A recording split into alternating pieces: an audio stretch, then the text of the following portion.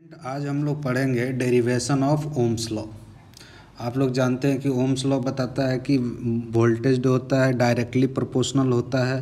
Voltage directly proportional होता है current के, है ना? तो आप लोग जानते हो V equals to I R इसका डेरिवेशन हम लोग देखेंगे student V equals to I R का डेरिवेशन देखेंगे, है ना? यहाँ देखे स्टूडेंट एक मैंने कंडक्टर लिया है। एक कंडक्टर लिया है, जिसका लेंथ एल है। अब इसमें इलेक्ट्रॉन रहते हैं स्टूडेंट जिग जैग मोशन करते रहते हैं।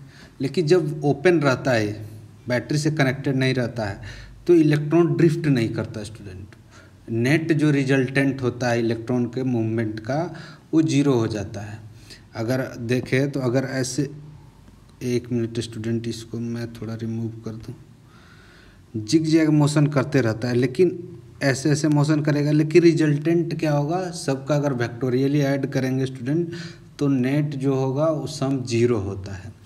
तो यहाँ पर ड्रिफ्ट नहीं होता मूव नहीं करता, वो सारे का रिजल्टेंट कैलकुलेट किया जाता है तो ज़ीरो ही होता है।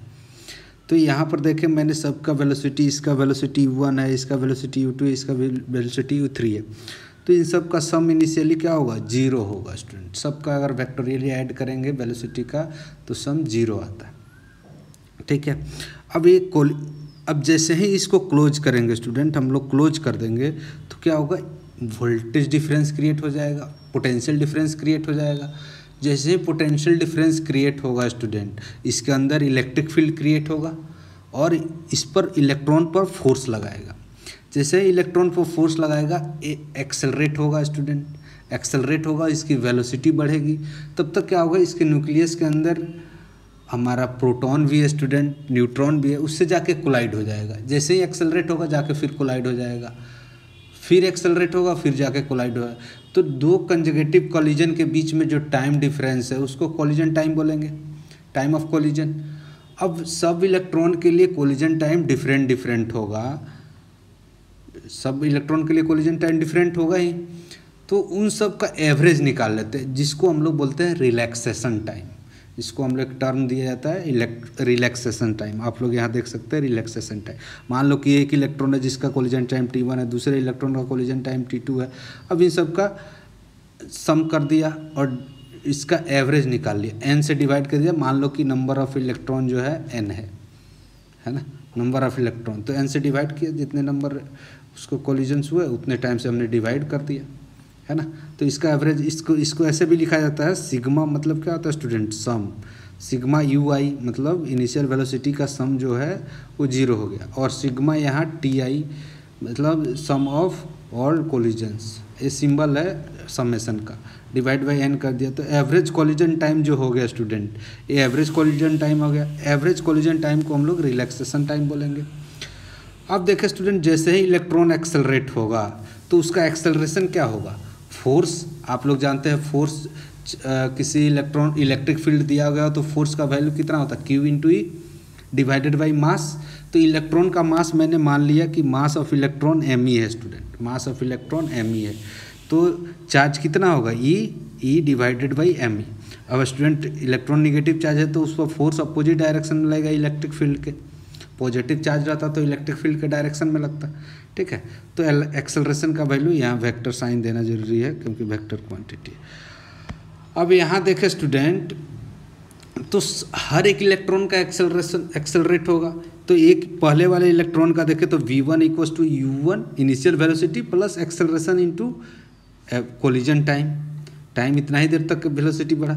फिर V two equals to U two plus A into T two इतना देर तक कोलिजन बढ़ा इसी तरह से सारे इलेक्ट्रॉन के लिए लास्ट में V N equals to U N plus A into T N मान लो कोलिजन तो इन सबको ऐड कर दिया स्टूडेंट ऐड करेंगे तो क्या हो जाएगा? ऐड हो जाएगा V one plus V two plus V three है ना? तो इसका सिंबल हम लोग ऐसे लिख सकते हैं सिग्मा वी आई सारे फाइनल वेलोसिटी का sum equals to sigma U I सारे इनिशियल वेलोसिटी का सम माइनस एक्सेलरेशन का value minus E E by M E M E mass of electron है स्टूडेंट ये mass of electron into T I T I क्या है? Collision time का सम अब सब स्टूडेंट ये तो जानते हैं इनिशियल वेलोसिटी ज़ीरो का सम ज़ीरो ही होगा. ठीक है, हमने ऊपर देखा था. तो यहाँ पर ये एवरेज वेलोसिटी हो जाएगा एवरेज वेलोसिटी इक्वल्स टू क्या हो जाएगा?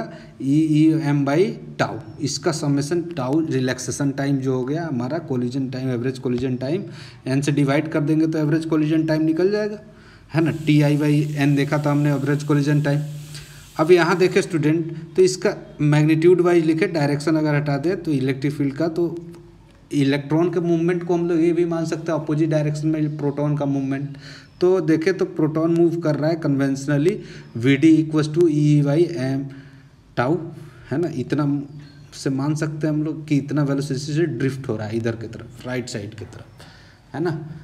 तो ऐसा भी, इसको ऐसा मान सकते हैं कि इलेक्ट्रॉन जो है वी डी स्पीड से राइट ड्रिफ्ट कर रहा है ड्रिफ्ट कर रहा है, ठीक है?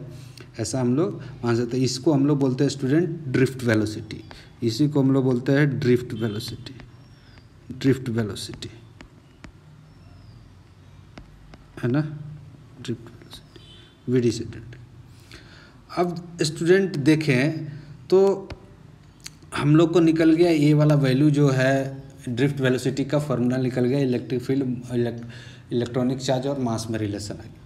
अब हमसे पूछा जाता है कि चार्ज को मतलब इलेक्ट्रिक करंट को कर, और तुम्हारा ड्रिफ्ट वेलोसिटी में रिलेशन क्या है? रिलेशन बिटवीन ड्रिफ्ट वेलोसिटी है ना? Relation between drift velocity V D and I इसके बीच में हमें रिलेशन निकालना है स्टूडेंट तो कैसे निकालेंगे? मान लो कि ये कंडक्टर स्टूडेंट वी वेलोसिटी इसका इसका लेंथ एल है. इसका लेंथ एल है student area of cross section A है. ठीक है? मान लो कि कोई कंडक्टर में नंबर ऑफ़ इलेक्ट्रॉस इलेक्ट्रॉन्स जो है एन मान लिया. उसको स्मॉल एम मान लिया. Number of free electron per unit volume मतलब वन मीटर क्यूब एरिया में नंबर ऑफ़ इलेक्ट्रॉन को हमने मान लिया एन यहाँ पर लिखा है N equals to number of electron per unit volume मतलब एक एक मीटर क्यूब में नंबर ऑफ़ इलेक्ट्रॉन का वैल्यू कितना होगा। ठीक है, वो सब मेटल के लिए अलग अलग होता है। सब मेटल के लिए अलग अलग होगा। अब स्टूडेंट इसमें टोटल नंबर इसका वॉल्यूम कितना हो जाएगा? टोटल वॉल्यूम अगर निकाले तो एरिया इंटू लेंथ अगर हम कंडक्टर का लेंथ वॉल्यूम निकाले तो एरिया इंटू लेंथ होगा, आप लोगों को पता ही है। तो टोटल नंबर ऑफ़ इलेक्ट्रॉन कितना हो जाएगा? टोटल नंबर ऑफ़ इलेक्ट्रॉन जो होगा टोटल नंबर ऑफ़ इलेक्ट्रॉन कितना हो जाएगा? N into volume total number of electron N into volume हो जाएगा। अब देखें यहाँ स्टूडेंट करेंट इक्वल्स टू क्या होता है? क्यू डिवाइडेड बाई टी तो N into L volume number of electron per unit volume into total volume से मल्टीप्लाई कर देंगे तो टोटल नंबर ऑफ़ इलेक्ट्रॉन आ गया। इंटू इलेक्ट्रॉनिक चार्ज हमें टोटल चार्ज लिखना है तो ये तो नंबर ऑफ़ इलेक्ट्रॉन आया टोटल इंटू इलेक्ट्रॉनिक चार्ज से मल्टीप्लाई करेंगे तो टोटल चार्ज हो गया. डिवाइडेड बाई टाइम टेकन मान लो कि इस सारे चार्ज को स्टूडेंट इस पूरे चार्ज को ड्रिफ्ट होने में टी टाइम लगा. टी टाइम लगा. तो हमने total charge drift divided by time taken है ना? तो अब टाइम इक्वल्स टू क्या लिख सकते हैं? इस एल एल लेंथ को क्रॉस करने में सारे इलेक्ट्रॉन को कितना टाइम लगा? अगर यहाँ से सारे इलेक्ट्रॉन मूव कर गए वी वेलोसिटी से मूव कर रहे हैं तो ये वाला इलेक्ट्रॉन मूव करके चला जाएगा तो सारे इलेक्ट्रॉन चले जाएँगे। इधर वाला इलेक्ट्रॉन अगर है तो ये मूव करके सारा चला जाएगा तो ये सारे मूव करके चले जाएँगे। तो इसको टाइम कितना लगेगा? टोटल एल लेंथ कवर करना है, कितने के स्पीड से? वी डी के स्पीड से। स्टूडेंट ड्रिफ्ट होते रहता है जिग जैग करते रहता है, लेकिन रिजल्टेंट जो ड्रिफ्ट होता है राइट की तरफ़ वेलोसिटी नेट जो होता है, वो हमारा वी डी है। ठीक है?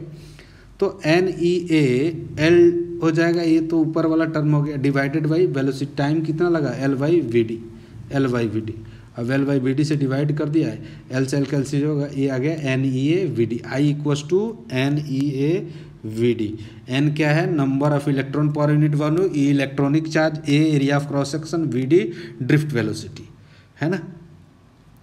तो ये हमारा रिलेशन आ गया, ये इंपॉर्टेंट फार्मूला स्टूडेंट अब हमें ओम्स लॉ इसी से डिराइव करना है तो ये ध्यान दे student V D equals to आप लोग को तो पता ही है E E M mass of electronic into tau ये तो पता ही है वी डी इक्वस टू मैंने पिछले ही वीडियो में बता यहाँ दिखाया अभी।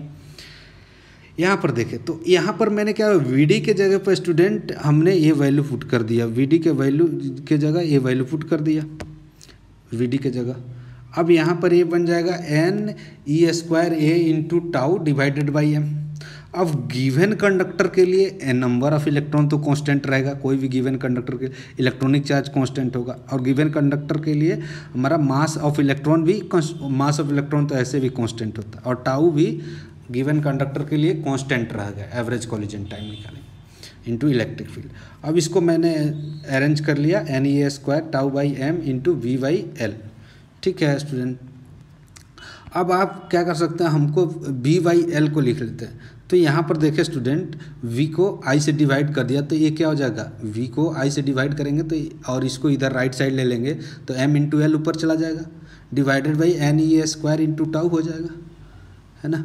तो इसको देखें M N E square tau एक गिवन कंडक्टर के लिए कांस्टेंट होगा mass of electron number of electron per into volume electronic charge into tau given conductor के लिए कांस्टेंट होगा, है ना? ये कांस्टेंट होगा और ये लेंथ है कंडक्टर का और एरिया ऑफ़ क्रॉस सेक्शन है कंडक्टर तो वी इक्वस टू हम लोग ये लिख सकते हैं, इस कांस्टेंट को रो मान लिया। इस कांस्टेंट को हमने रो मान लिया। जो हमने रेड कलर से इसको घेरा है, इस क्वांटिटी को, इसको रो मान लिया। तो rho L by A V by I equals to rho L by A है ना? तो रो हमारा क्या होता है? रो इक्वस टू हो गया student rho equals to M divided by N E square tau है ना? इसको हम लोग रो बोलते हैं। इसी को स्टूडेंट कंडक्टिविटी बोलते हैं। रो, इसको बोलते हैं हम लोग कंडक्टिविटी टीवीटी है ना? Sorry resistivity sorry sorry sorry इसका उल्टा को हम लोग, ये रो है हमारा रजिस्टिविटी रजिस्टिविटी। और वन बाई रो जो होता है स्टूडेंट, इसको हम लोग सिग्मा से डिनोट करते हैं, इसको बोलते हैं कंडक्टिविटी। ये है कंडक्टिविटी कंडक्टिविटी। ठीक है? बस रिवर्स कर देना, वन बाई रो कर देंगे, ये कंडक्टिविटी हो जाएगा। तो इन्वर्सली हो गया। रेजिस्टिविटी स्टूडेंट ज़्यादा होगा तो कंडक्टिविटी कम होगा। कंडक्टिविटी ज़्यादा होगा तो रेजिस्टिविटी कम होगा। ठीक है? तो यहाँ पर देखें तो हमारा रो एल वाई ए यही हमारा, और हम V by I equals to R A V by I equals to R rho L by A student rho L by A हमारा रेजिस्टेंस हो जाता है। तो रेजिस्टेंस का फॉर्मूला क्या बन गया student rho L by A है ना? रो एल बाई ए होता है। तो रेजिस्टेंस हमारा किस पर डिपेंड करता है स्टूडेंट कंडक्ट रेजिस्टिविटी उस रेजिस्टिविटी गिवन कंडक्टर के लिए सेम रहेगा। एल उसका लेंथ और एरिया ऑफ़ क्रॉस सेक्शन तो लेंथ ज़्यादा रहेगा तो रेजिस्टेंस ज़्यादा होगा। एरिया ऑफ़ क्रॉस सेक्शन कम रहेगा तो रेजिस्टेंस ज़्यादा होगा। एरिया ऑफ़ क्रॉस सेक्शन ज़्यादा हो जाएगा तो रेजिस्टेंस कम हो जाएगा। तो V equals to I R हो गया स्टूडेंट यही हमारा ओम्स लॉ है। है ना? Ohm's law